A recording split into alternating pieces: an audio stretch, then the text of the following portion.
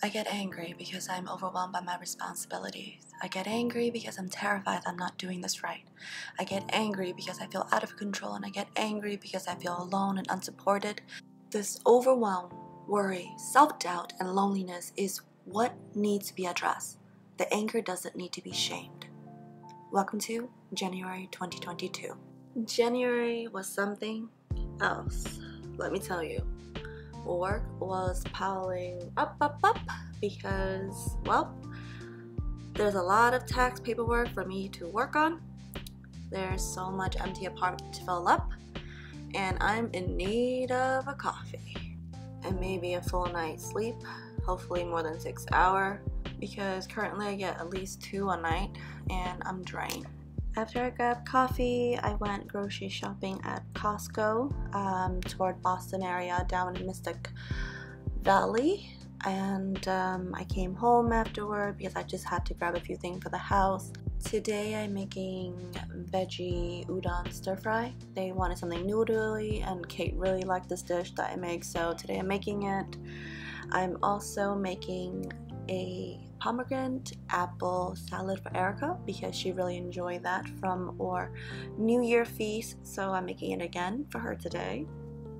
With my sister in town, it really helped push me putting more energy into my cooking even if I feel like complete crap. I don't know, I've just been so cold and I look really frumpy today because honestly I'm three layer in um, and I'm still cold and you know, it's really making me mad because I feel really drained. My taste bud hasn't really been there, so I'm really using everyone else around me to kind of taste my food for me as I'm going. I would feel like the first five day of January was when I kind of felt like I'm coming down with something, but because I'm not sneezing, I'm not coughing, I'm just cold. I feel like maybe y'all, you know, it's like catching the evil wind. So I was very like, oh, just push through it. You're just tired. So at this point, I was trying my hardest to just drink a lot of vitamin C to bypass this cold because I didn't think I had COVID at this very moment because I, you know, seeing the symptoms of everyone else on TV, I just didn't think I had COVID. Little did I know, I was actually this is me going through COVID. Even the broccoli feels better on this. Thanks for the asparagus.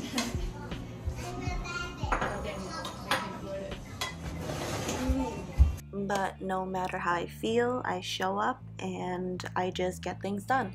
So even though I feel like crap and I'm cold and I'm hot and then I'm cold and I'm hot and I'm cold, I feel like maybe this is just another cold I'm coming down with and I'll bypass it.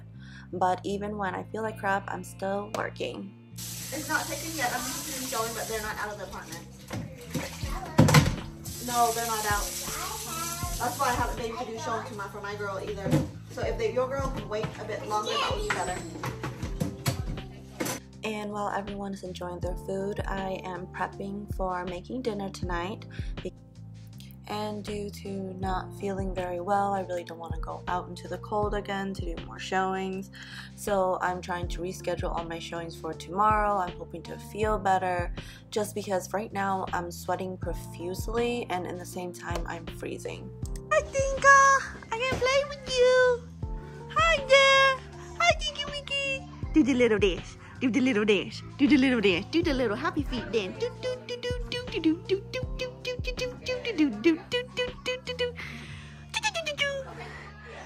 and a little did I know, this is her being over her COVID. That's why she's better. She's been terrible for the last two weeks, but now she's her happy self. She's no longer throwing up at night, and I mean, like, I've to change her sheet twice a night because she throws up. I'm glad you're getting better. na na na na. Na na na na. I love you. Early morning the next day, I tried to schedule all my showing all before lunchtime. Then I came home to make lunch. I feel like I get so busy in my work schedule that I just don't feel the pain when I am going through the notion of working.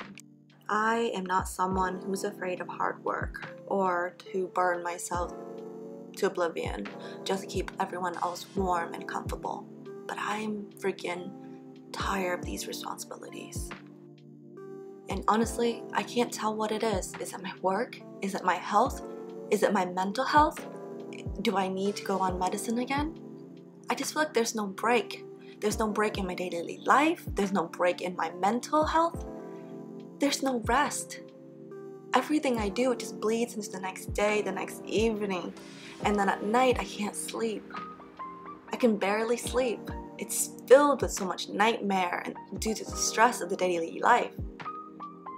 It's heartbreaking for waiting for another day to be better. But every day I just feel so worn down. I feel too tired to keep fighting someday, keep trying, keep awake. And honestly, there's no amount of self care that I can do to fix it. No bubble bath, no chocolate. There's no fixing for a mother with a broken spirit who feels like she's failing. And there's so much I can't tell you about my internal struggle. Is this the postpartum? Is this just my health failing so I'm unable to keep my mental health afloat? So every day, even if I feel like crap, I just keep going. I kind of just pause in my brain. I try to cancel all my feelings out. And somewhere inside, I think the fire that keep me going, the me that I love and enjoy and want to just embrace life, I think she died. So in this video, I want to remind all the new mother that you are not alone.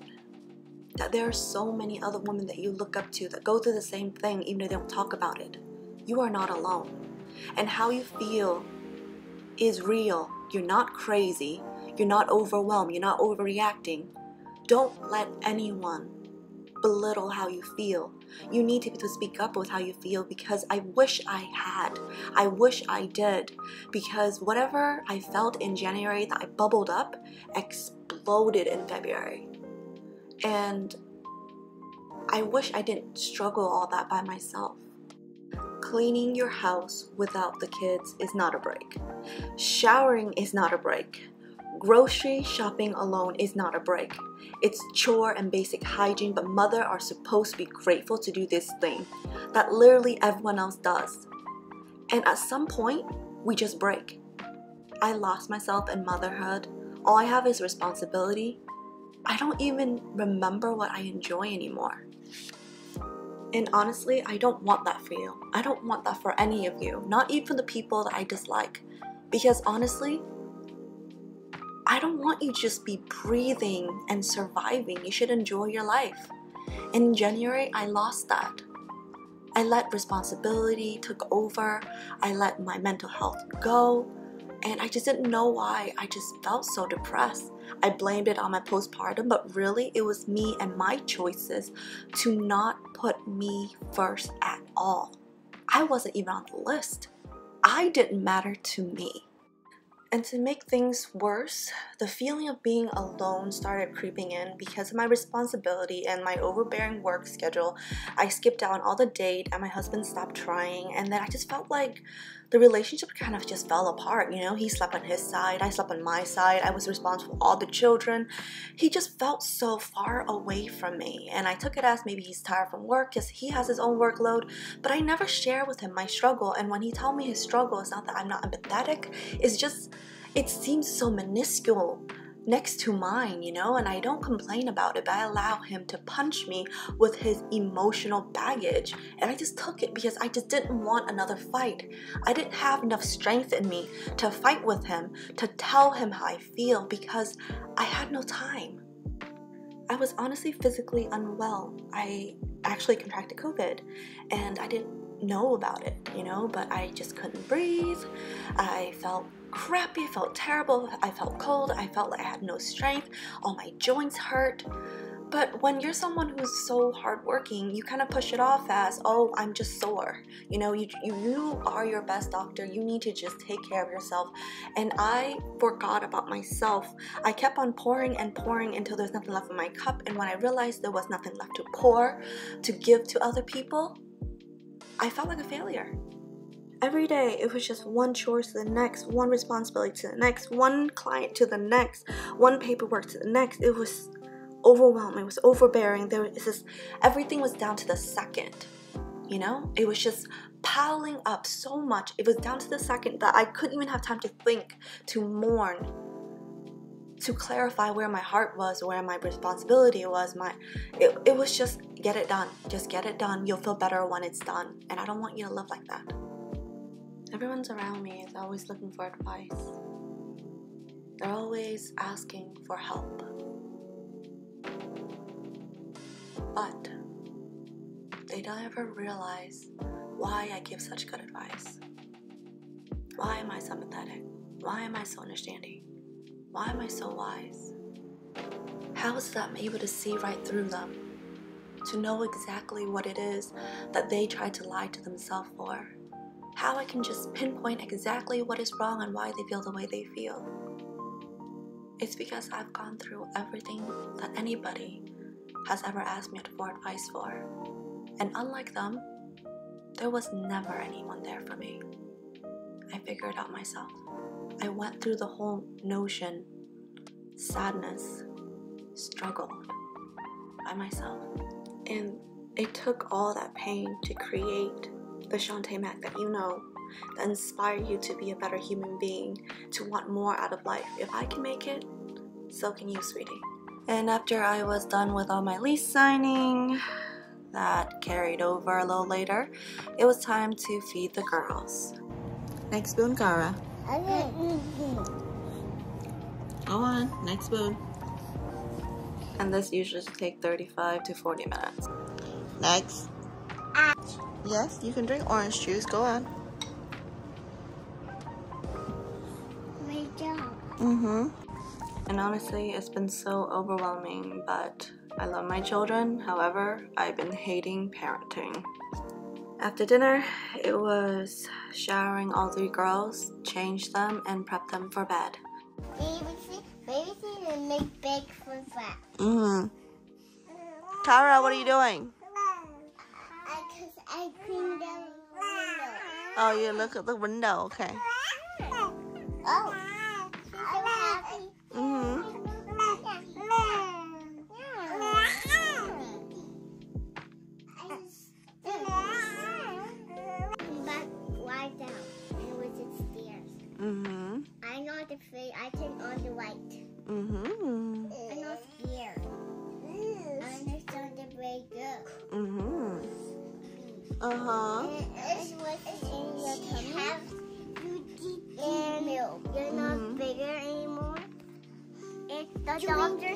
With a knife and and baby come out.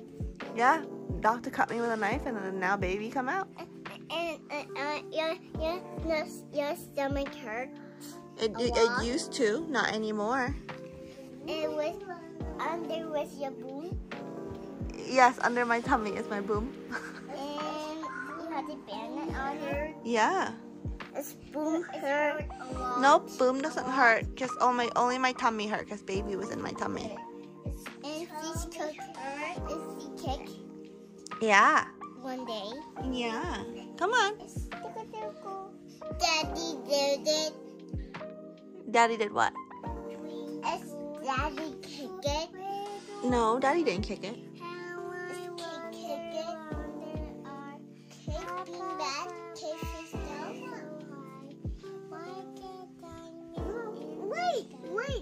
It's, a baby, baby. How I wonder what your turn A B C. No, no, the baby don't want it. She twinkle twinkle with the star. Louder, and she can and she. That's how What happened her cheek? We'll see how her cheek is. What happened there, Kara? And she had to wear this piece because she. Oh, em bé nói chuyện đó, cưng nằm đó.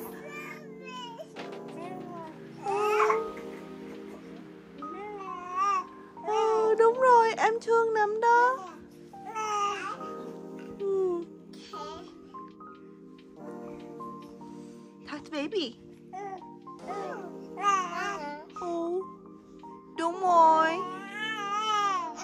Bạn đang tập nói đó.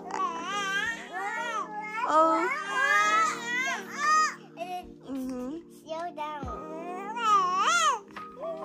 Oh. Uh, oh yeah. She wanna talk to both of you. Nói chuyện đàng hoàng em thôi mà K K Kara.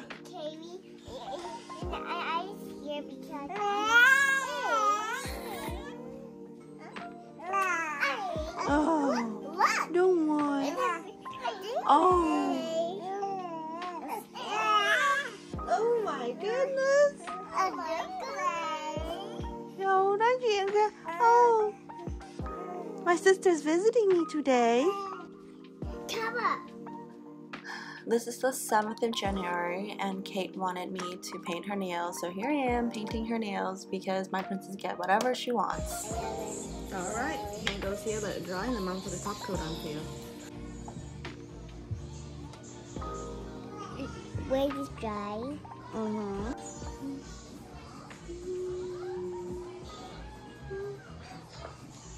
Other hand.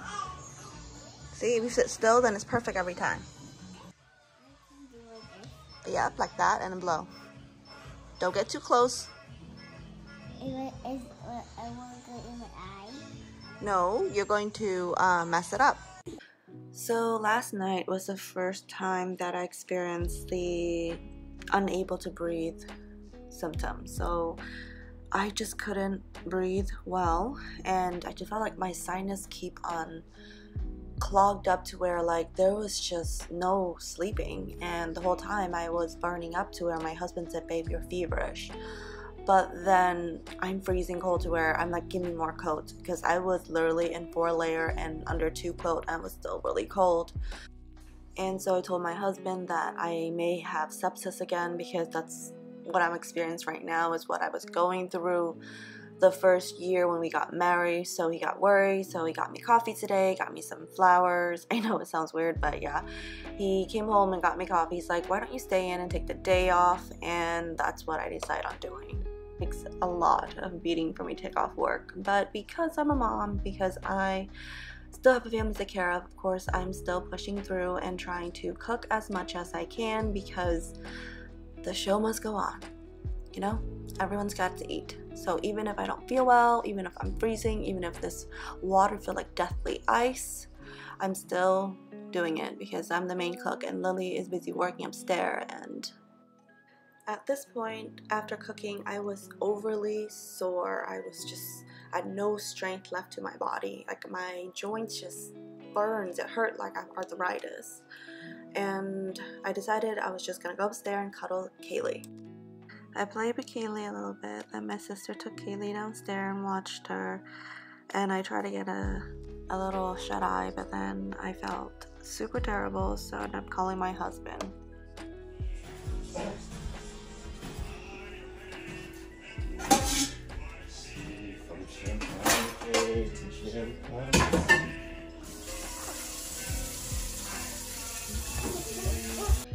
Saturday morning came soon enough, and I wanted to see if I was going to get better. If I don't, then I'm thinking about, you know, checking at the hospital if I feel like I can brave it through. But this has been two really bad nights sleep already, so we'll see.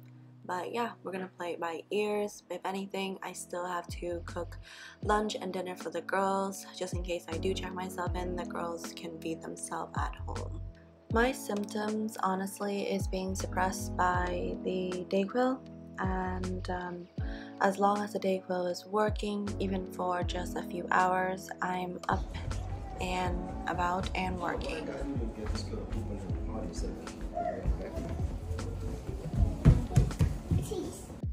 Dear mom who needs to be reminded that she matters, this is your reminder. Now go back to all that you're doing. You're cleaning, working, driving, nose wiping, cooking, clothes folding, everyday thing, and hold your head high. Motherhood matters. More than having a perfect house, perfect body, the perfect planning schedule, the perfect kids, the perfect anything. You are a game changer, a life changer. You are their mother, and this is why you matter. And even on the days you feel like you are failing, look around. I promise you, to your kids, they still think you are the best mom in the whole universe. Yummy? Mm. That's egg. Mm, You gotta eat it. It's good for you. Yummy. Uh huh. Happy. Eat. You okay? No, so you don't get your hand. Come on, Kate. Next one. Next one. You gotta eat well, and then we can go outside and play. And put it in snow. Yes, in the snow. Uh, but how do we wear clothes? I'm, I'm, are we gonna wear warm clothes? Yes. Now go eat. Come on, want make some time. After feeding the girls their lunch, my symptoms acted up and I decided to check myself in. And honestly, the whole place was booked with people. So many people. I ended up waiting for three hours before I was seen, and then two hours while I was in the room with no one helping me. And by the time I got my result back, they said I was negative and sent me home. And the next day, I got an email it said I was positive and the result was false. So yeah. So yesterday when I was at the hospital, um, I had a of cooking, so I ordered a bunch of food from the rush, my favorite restaurant, which was Laughing Monk. I don't want to badmouth them, but they definitely went downhill. Their cooking was extremely salty. Like extremely salty, which I'm not happy with. And uh, since I don't want to throw it away, However, the weird part is after I left the hospital, I guess that was the peak of my COVID to where it was really killing me. And then after I came home, I just felt so much more energy, you know? Now that I know what's wrong with me and how to deal with it.